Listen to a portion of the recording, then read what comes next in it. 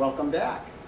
This is Chris Toy, your Boomer Tech guide, and today we're going to do a quick and easy stir fry with some ingredients that we have in our refrigerator. And I'm also going to demonstrate a really quick, almost foolproof way to steam some rice. My mom's recipe. So let's start with the rice because that's going to take the longest. So what we'll do is you want to make sure that you have a pot that's at least two-thirds the size of the volume of the rice so that there's a chance for it to get a head of steam without boiling over. I'm going to use jasmine rice, which is a long grain white rice, which cooks pretty easily. There we go. And let's put this. So my mom's recipe is that whatever amount of rice you're using, when you touch the top of the rice, you want the water or the liquid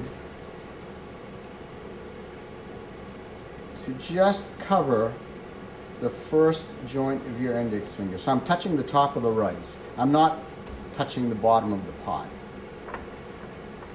And uh, you want to probably figure on a quarter to a half a cup of raw rice per person, depending on the appetite of the people that you're going to be serving. And what we'll do is we'll put this on high. Let me get a cover here that fits.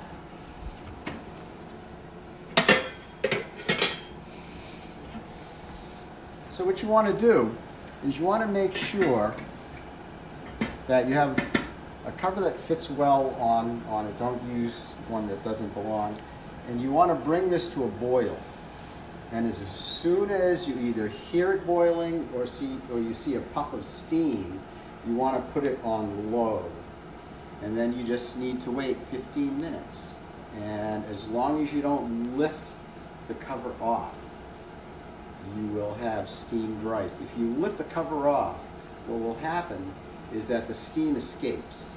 And the steam is hotter than boiling water. And with the cover on, it puts pressure on the rice kernels, which puffs them up. If you keep looking in and the steam escapes, it cools off and only the outside cooks. The inside stays crunchy. And in order to cook the inside, you'll overcook the outside. So just don't take the cover off. If you can't stand it, get a glass cover or something like that. So we'll let that, we'll keep an eye on that. As soon as we see it steaming, we'll, uh, we'll put it down to low. So let me talk quickly about our woks. So these are cast iron woks, and if I had to choose one type of material, it would be cast iron. This is kind of a family size wok. This is a 14 inch one.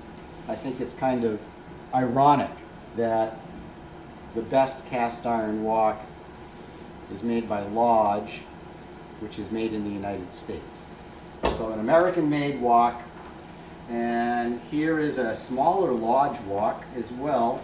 Um, this is a nine and a half inch wok. You can get a 12 inch one as well. So this one is good for two people. This one would be, you know, four to six people. So when you stir fry, what you want to make sure is that, number one, your wok is warmed up. So you want to have a warm wok or a hot wok, and you want your oil to be at room temperature. So hot wok, warm oil. And before you cook anything, what you want to do is you want to make sure that your materials, your what you're going to be cooking, are they're ready to go. So let's do that. So let's kind of look at what we have. So we have some um, some Brussels sprouts, which we'll prepare in a minute. We get some carrots. We've got um, we had some scallops, some shrimp, some chicken, some mushrooms, which is plenty, I think. And um, when you're cooking with different ingredients, unless you want to cook that cooking each ingredient and take it out, what you want to do is you want to time when you put your ingredients based on how long you want them to cook.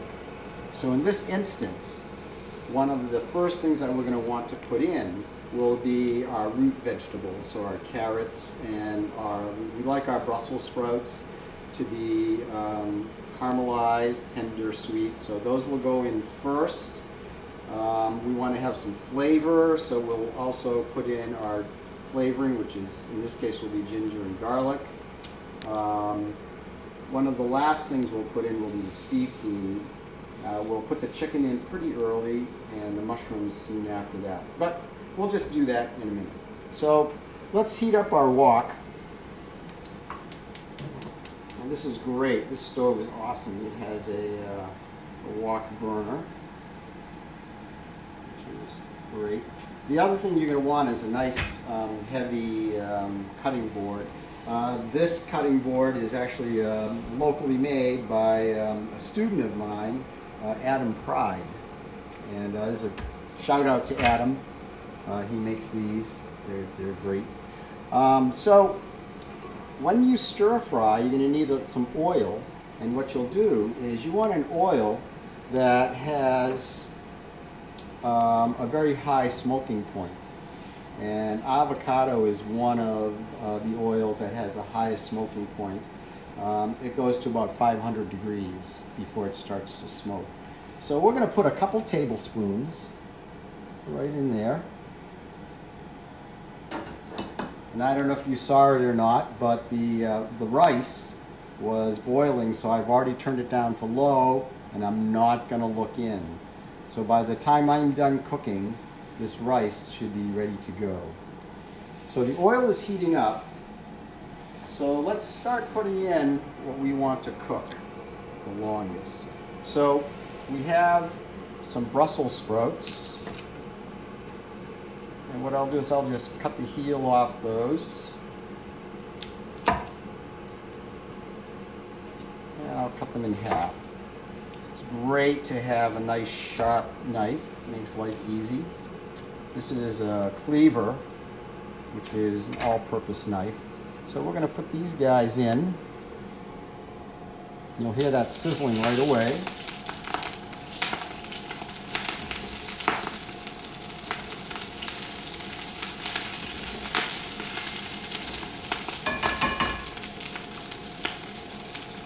And we'll add some carrot. And um, I don't peel my carrots. All I do is I kind of give them a quick scrub. Like that. And what I'm going to do is I'm going to roll cut. So what you'll do is at about a 45 degree angle, you'll just, you can use your knuckle as a guide. And what that does is it exposes a lot of the interior of the, of the carrot to cook. So we'll get these great little pieces of uniform size. And we'll just put those right in.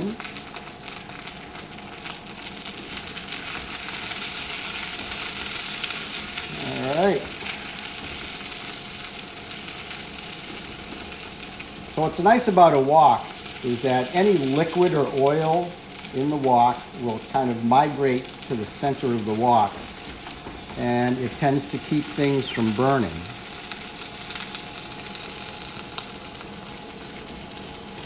So those are beginning to soften up, which is great. So the next thing we'll put in is some flavoring. And what I like to use is fresh ginger and fresh garlic. And here's how I deal with that. So here's a piece of ginger. And I'm going to cut it just like I would cut a log. So what I have is I have this piece of ginger and the grain is going this way, which means when I hit this, it will just fall apart. So watch, excuse the noise. So you can kind of see what's, what it's done. Kind of makes a mess sometimes. And then like that. And I'll just scoop that onto there. And we'll add this for flavoring. So it just kind of falls apart. We'll give that a stir. And you can see our Brussels sprouts are starting to caramelize a little bit. And our carrots will soften up. There we go. All right. So let's add some garlic. We'll treat it the same way. We peeled it and we'll just like that and then we'll put that right in. Another quick stir.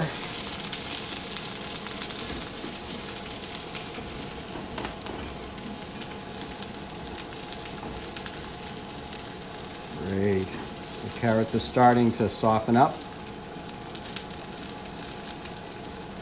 All right.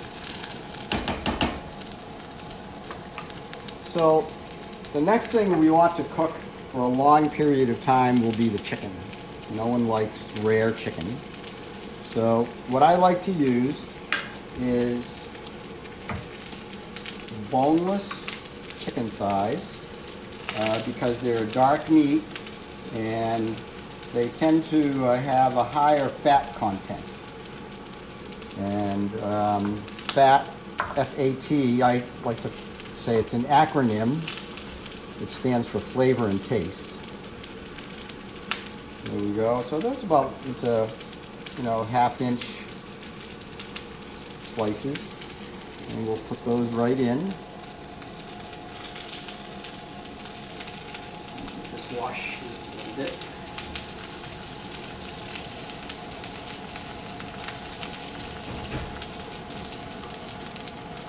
Let's give this a stir.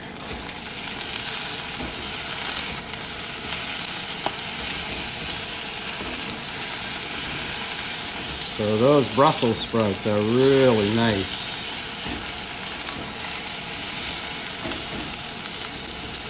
So that's getting flavored by the ginger and the garlic that we put in.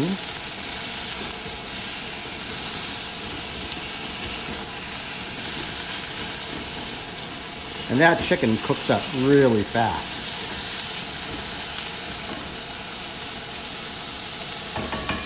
And stir frying is a relatively dry process. If you look in there, you'll see that there's not a lot of excess liquid in there. Any liquid is actually coming from the vegetables and the oil is coating them. All right, so we'll let that continue to cook. So the next thing we'll put in will be some mushrooms. Let me get a different knife here. And these are baby portobellas. And I'll just cut those into four pieces. And we'll just put those right in.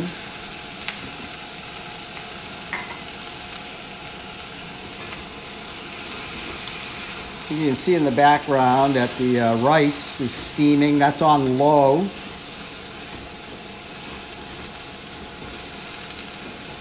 Oh, by the way, the wok is um, it's on a medium high, and that cast iron really holds holds the heat nicely. Maintains that sizzling that you need for stir frying.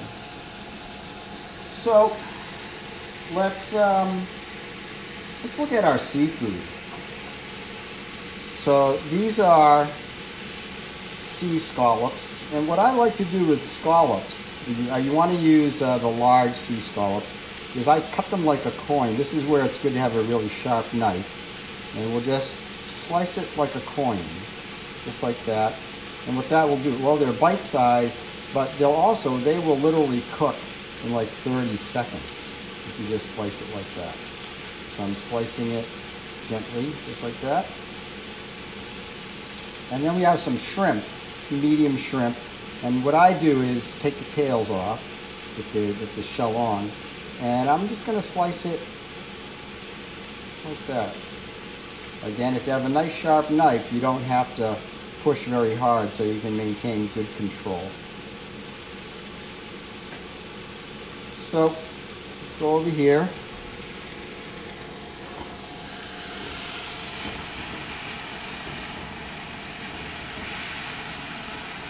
All right, so those carrots are nice and soft. You got nice caramelized Brussels sprouts. The chicken's definitely cooked. So we're gonna put our shrimp in.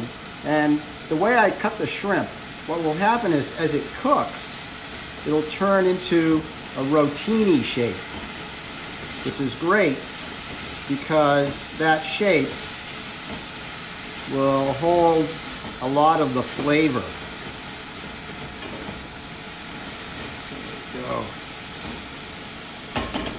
That will take maybe a minute or so to cook up. Let me just grab this escape.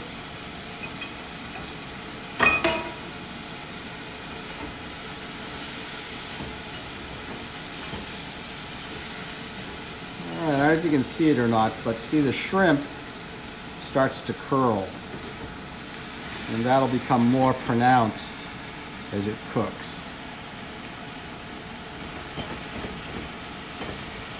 All right, so our next to the last ingredient will be our scallops.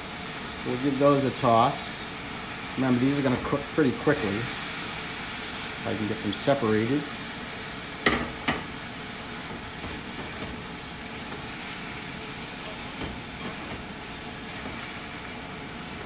There we go.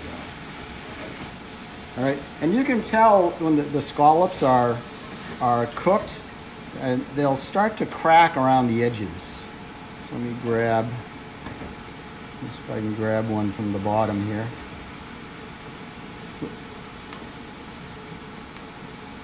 There we go. So you can see the cracks right around the edge. So that tells us that this these scallops are just about done. I think it's been about 15 minutes on the rice that I've been talking since it was boiling. So what I'm going to do is I'm going to shut that rice right off. All right. So we're going to put one more flavoring in, and that's going to be some scallions.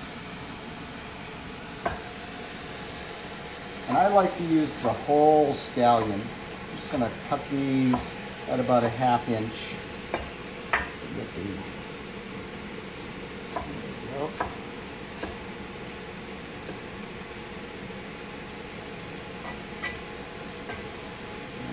And just drop those babies in there.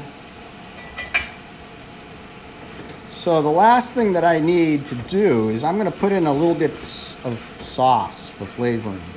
So when you stir fry, you don't stir fry with the sauce. The sauce goes on afterwards because you want to maintain that high heat. So this is going to be a pretty simple sauce. We're going to put in equal parts of soy sauce and I'm going to use spicy ketchup. So let's put in like um, maybe a tablespoon and a tablespoon.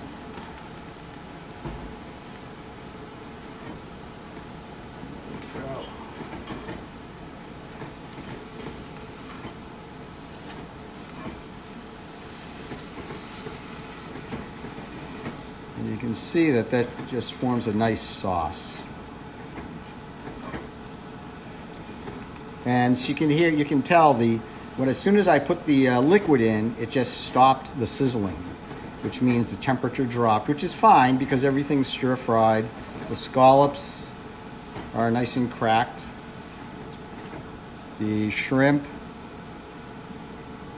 has turned into rotini. We know the chicken's done. We know that the vegetables are nice and caramelized. We could add other vegetables. So, let's see. Do we have steamed rice?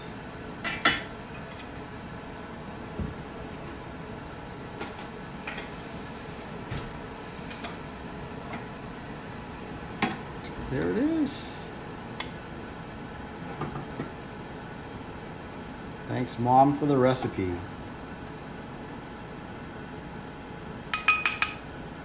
And yes, I've made too much rice, but maybe one of these times I'll show you what to do with leftover rice. And then.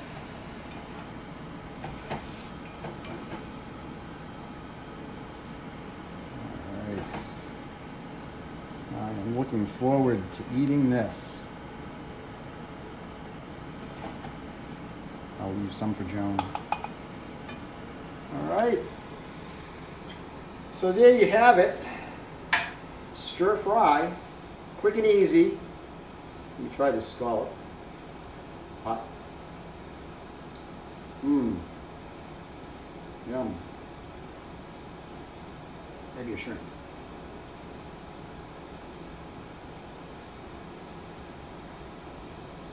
So that's it for now. Thanks for stopping by, and we'll see you next time.